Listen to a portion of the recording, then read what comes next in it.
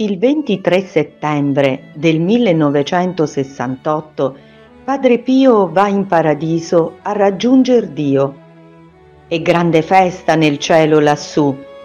Gli angeli cantano e lo accolgono con infinito amore la Madonna e Gesù.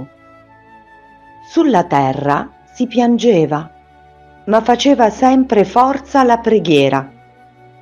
Certo che mancava Padre Pio, ma lui disse, continuerò la mia missione anche vicino a Dio.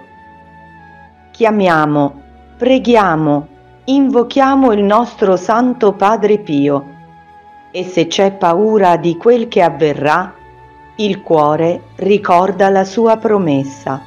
Sempre così sarà. Gesù, fa per favore che io riesca a realizzare i miei sogni e che non ci sia mai più guerra nel mondo, ma che ci sia la pace. Gesù, fa per favore che sia sempre sulla strada della bontà, della preghiera e della fede. Infine devo dirti una cosa, grazie per tutto quello che hai fatto.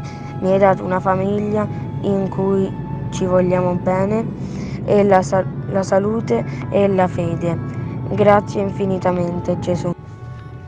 Per Padre Pio, i miei amici sono come un cuore, però certe volte mi capita di litigare con mia sorella. Ti chiedo scusa, cerco di non litigare e faccio pace.